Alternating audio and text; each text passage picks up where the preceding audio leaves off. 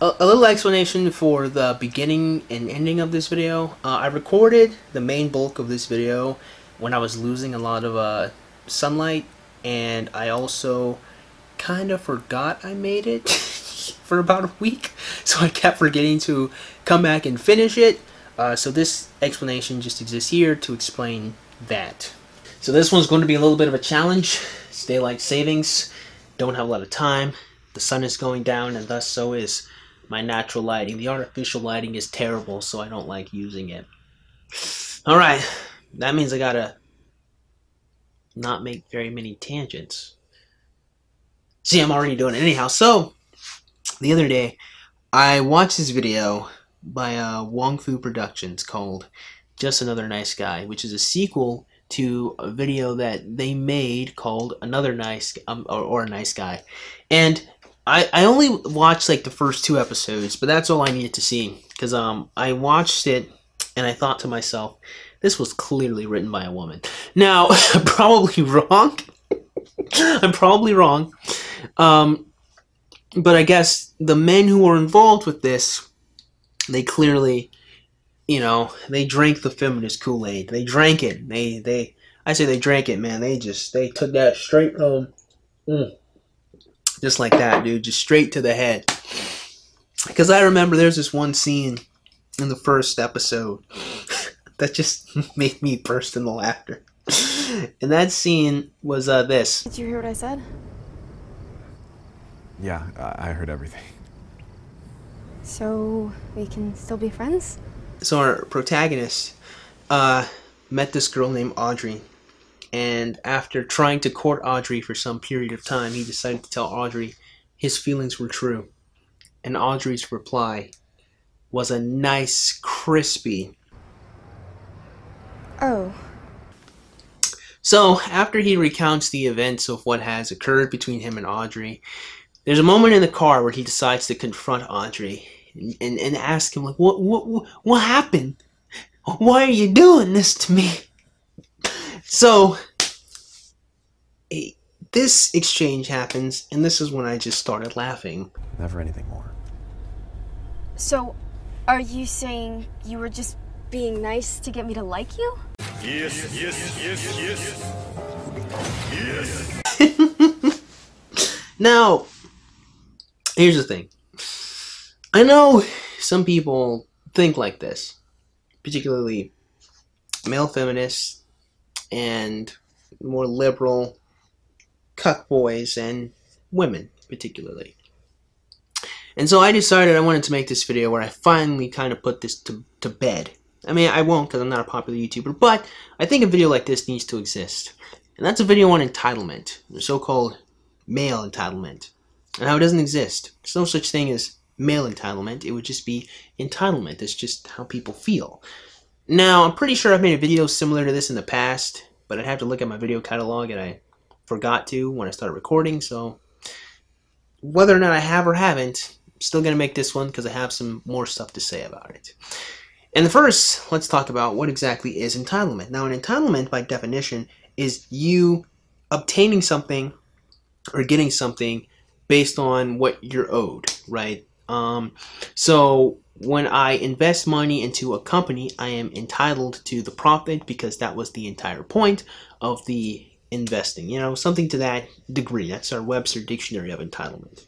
And thus, the way a lot of people use entitlement, particularly male entitlement in feminist circles or liberal progressive circles, is the idea that men feel like they are owed sex from women based on the amount of activity or the amount of time invested into the woman that they've been trying to court. It's probably the most succinct way you could label male entitlement.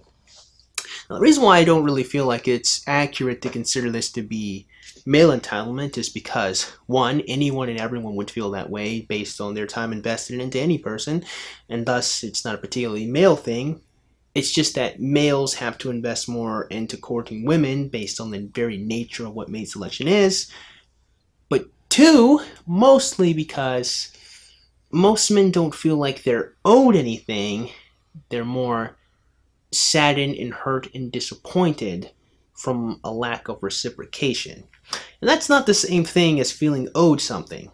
Now, the whole entire point of picturing a male entitlement as a concept is very simple. It's just to completely remove responsibility for women's part in the whole courtship thing that occurs in the the old friend zone or the whole nice guy phenomenon. The idea is to focus on the male aspect or the men aspect and what the men are trying to do to get women. It's to make them look like they're bad guys. You only did all of these nice things so you could have sex with me. You only did all of these nice things for a relationship. Now, pause. Those are actually two completely different things, by the way. And which is why I'm not a really big fan of this whole male entitlement thing. If someone was nice to you, and they're courting you so they could have a relationship with you, the chances are that person genuinely likes you because they're considering making a family with you, you dumb bitch. if some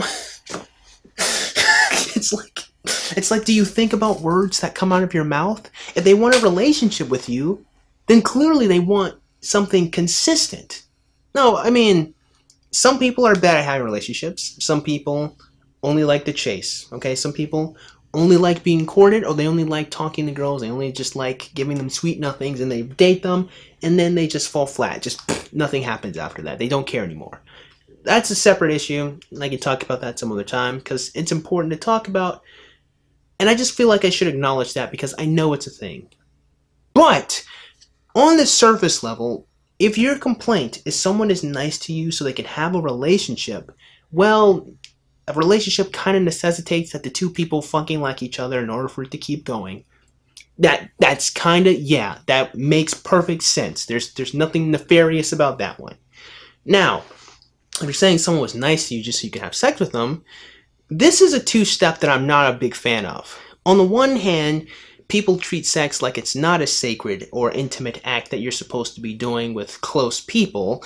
They treat it like it's a toy and that it's fine to do it with strangers. But then they'll two step and say, well, manipulating people into sex is wrong and you shouldn't be nice just so you can get sex from them. And then it's like, I mean, of all the things that you could be doing, being nice to get sex kind of is a lot better than the alternative, and that is spitting game at drunk bitches at nightclubs or existing as an attractive male douchebag that just manipulates and uses women. Like, I mean, of all of the things, like, sure, you could say being nice to have sex is a bad thing, and I would agree with you. It's just that if you treat sex like it's a commodity and it's a toy, it's very particularly strange, at least to me, that you then backstep and say, hey, that's wrong, but like, using sex as a toy or a commodity with strangers is okay.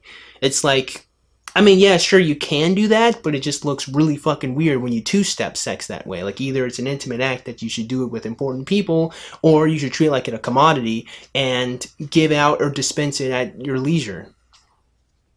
It's just weird that your leisure is that being nice then is wrong, but just being attractive is okay. you know what I mean? Which kind of brings me up to this point right here it's really strange to me that people will criticize the so-called nice guy for putting an effort to court women. Like uh, to, to manipulate the whole conversation of nice guys to make them look like they're nefarious individuals. Now i will pause to say that a lot of people when they describe nice guys they mean passive guys. And i always try to make an effort to make it clear that i am referring to someone who's being kind not someone who's being passive and since these two things are oftentimes conflated, in this particular conversation I'm about to continue to talk about, I will be referring to them all as one and the same nice and passive, those guys that we all know. And that being what they're doing to get a relationship is the only option they really have. And that's why it's really strange to criticize them, or I always find it particularly strange to criticize them, right? Because the idea is that you're criticizing nice guys for being nice to women and trying to convince the woman to date them. The only problem is that's the only fucking option they have. Because when it comes to mateship, when it comes to courting anyone, men or women, and this particularly affects women, men more than women, just on the nature of what women want from men. Um, but the long and short of it is, you only really have two options when it comes to courting people. Excuse me, and that is, you either exist as the person wants you to be, so you just be tall or you just be handsome, like you just exist as they want you, or you convince them with the strength of your personality that even though you're not initially attracted to them, you still have value you can provide for them. And option B is what most men have to fall on in nature of what mate selection is for women. Because the unfortunate truth of the matter is when it comes to the vast majority of women it's not all women. I know it's not all women in general women are more narrowly attracted to men especially younger women than older women are. And so most younger men have to try harder to date younger women. Now as women grow older and they hit the wall it starts you know their standards starts loosening up just a little bit and women that have low self-esteem their standards are oftentimes kind of all over the place depending on things. They're a little more specific to talk about. But in general what women want specifically from men is a lot more narrow. So men have to use option b a lot more op- option often than option a. Most men don't exist as women want them to be. So men have to convince the woman to date them with the virtue of their character. And that's where the whole nice guy phenomena comes from. If women liked men as an end to themselves, if women were just initially attracted to men as you were, you wouldn't really have to work all that hard to convince them to date you. That is the nature of being a nice guy. Now, of course, when you recognize that that be the case, if you ever have to recognize that you have to put in effort to convince a woman to like you, that that alone should tell you to stop trying to do anything about her, you would realize there is fuck all you can do when it comes to dating. Henceforth, we have the black and incels. I know a lot of people are not fond of incels and they're not fond of their depression and their depravity and they're not fond of how sad and depressed they are. They're not fond of how mean and cruel incels can be to women. But, my friends, my brothers, my sisters, we must recognize that your only option when it comes to dating people is either exist as they want you to be wholesale from the beginning, become what they want, or convince them to date you despite the fact that you're not what they want by virtue of your personality. And when you recognize that by virtue of your personality you will not convince someone to date you, you realize you have no options. That is where the black pill comes from, by the way. I just intellectually broke down an Incel's manifesto. You guys are all welcome moving forward, the reason why I've never really been able to co-sign with this nonsensical bullshit is because there's no delicate way to put this. This is all women's fault. Okay? It is. It is. Or maybe it's not women's fault, but women certainly have a hand in this, especially when it comes to the whole nice guy phenomenon, when it comes to the whole friend zone phenomenon. Now, a lot of people always say that if you're in the friend zone, it's your fault. You did that. No. No, you didn't. If the woman wants you, she fucking wants you. Like, let's be real, okay? Let let's let's not you know let's not fucking split hair hairs here. You know what I mean? Like a woman, she's not gonna put you in the friend zone if she wants you to date her. She's she's going to try. She's gonna put forth some degree of effort. Okay, she will. Um, I know, just not even just from personal experience, but I just know from fucking reality. Okay, if you're in the friend zone, it's because the woman didn't want you, but she's fine with being your friend. Like a woman will never like not be your friend. That's not normally how women operate. They define with having males around them and absorbing resources from them or getting things from them. And this is kind of the crux of the problem here. And this is where male entitlement kind of breaks down and why it's even a phenomena or a misunderstood phenomena that feminists and male feminists and all that see. And that is because men have to put effort to court women and women are oftentimes receiving the efforts of all of that courting whenever the man does not get a return from his investment, it can cause frustration. And no matter how you slice it, and that's just kind of reasonable. I mean, if you invest anything into anybody about anything, if you don't get a return, you're probably going to be upset about it. Now, this isn't the same thing as saying that the person feels like they're owed something, as I mean, some people might feel owed. It wouldn't be a particularly male entitlement thing, it would just be them, they feel like they're owed something. But no matter how you slice it, effort put into trying to court someone, effort into trying to convince someone to date you, that fails apart after a long period of time, even after you've been getting some signs or some reciprocation back from that woman, is painful. No matter how you slice it, it hurts. I don't care. You know, you can be Superman, but I bet you if Superman was trying to court Lois Lane and she was like, "Sorry, Kent, I don't want anything from you," that shit will hurt that nigga's feelings. It just, it, it just, it be that way sometimes. So this is why I say part of this is kind of women's fault because no matter how you slice it, unless you're stupid, as a woman, like you kind of have to know when someone is courting you. You you you can't be that fucking um, oblivious. You just can't be that dumb. Maybe some women are that. You know, some people are that stupid. Maybe some women are just that dumb. But like the whole like the whole like come on, like the whole come on. Like come on. Come on. Come on. This is why it's frustrating because there's no way anyone could put that degree of effort into trying to court you as a woman and you just not fucking know. It just doesn't you, you can't not you can't not know. You cannot not know. I'm not even sure if that made any sense but i know you guys get what i'm saying. Some girls when they're getting courted will absolutely take the free dinners. They'll take the gifts. They'll take the help.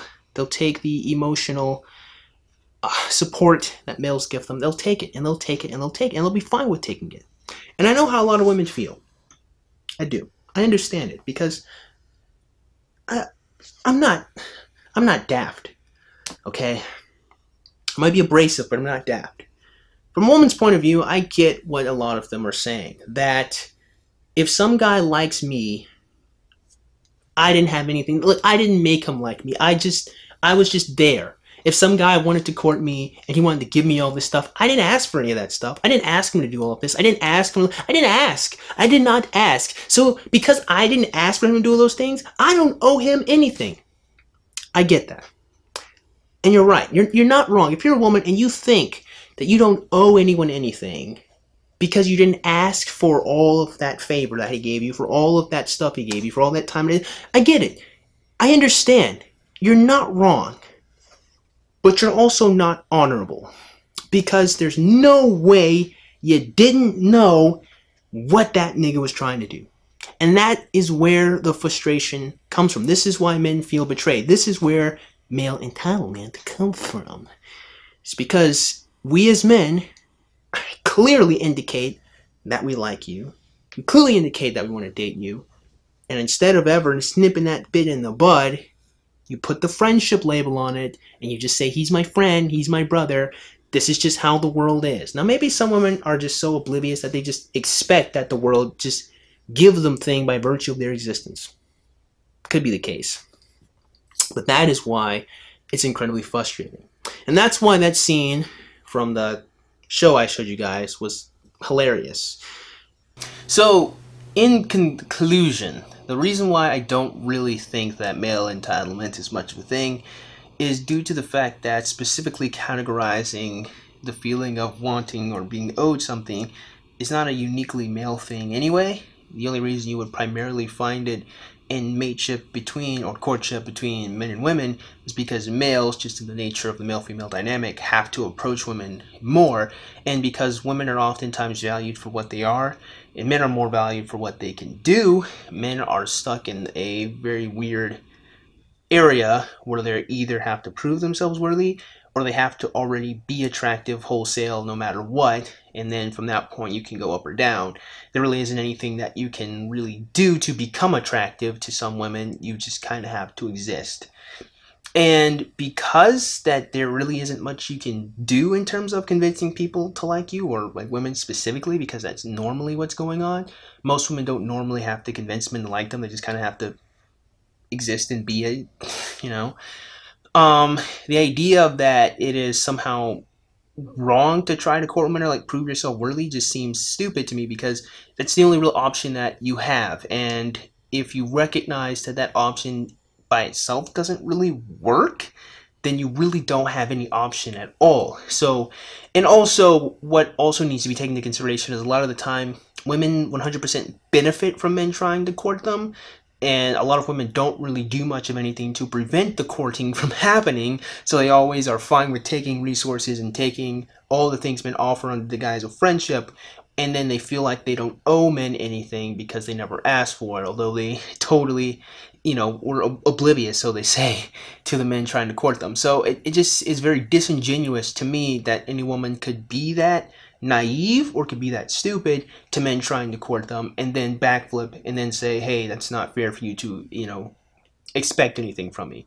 So uh, the, the whole guise of male entitlement, at least to me, seems like a way to always vilify men for using the only option that they really have realistically because all men just aren't born mythical Herculean like heroic patriots of beauty, you know, or attraction to women, or just like these whatever the fudge women want. That's a whole thing unto itself. Because men just aren't normally, oftentimes, born that way. There's really nothing we can do apart from just like try to prove ourselves worthy, and that just in and of itself is not functional because you know you can't really build attraction for women like almost at all if you there's just nothing redeeming about you. So it just seems to me to be a way to vilify men so women never have to feel guilty about the fact that they are as shallow as they love to paint men out to be. That's what it oftentimes seems like to be the case because again the more i intellectualize it the more unfair it seems to say that men are entitled for you know doing exactly what men ask them to do be nice guys be good guys you know be charismatic do all this stuff and it just doesn't have any return at all, but women will take all of the stuff that men give them, you know, for free without feeling like they have to reciprocate. That just doesn't seem right, you know. So um, that's basically my video. I know this one was a long time coming. It took me a while to find the time to get this ending point here. But um, moving forward, there are some more stuffs to talk about when it comes to this topic, like when it comes to dating and just like your options. I do think that's really important to really discuss. And excuse me, I think um a really critical look needs to be put onto the idea of the black pill that I mentioned earlier in the video and like in relation to like how authentic that is to the reality that is women and their mate selection choices because I do think something critical is uh, there that really needs to be highlighted that really isn't oftentimes enough. And that very critical thing case in point this entire video here uh, I say the entire, but a huge portion of the video is that there really doesn't seem to be much a man can do to push his sexual attraction to women of himself as much as you only can raise your social capital in relation to other people and your resources. But like you as the end of a man is not appreciated by a lot of women you know and that that can't really change as much as just your circumstances around you can change. And i think the same thing is true of women and i guess should be discussed from both ends of the spectrum as well and which i will do like in the future. But today i do want to leave you guys off with that very critical thought and that understanding.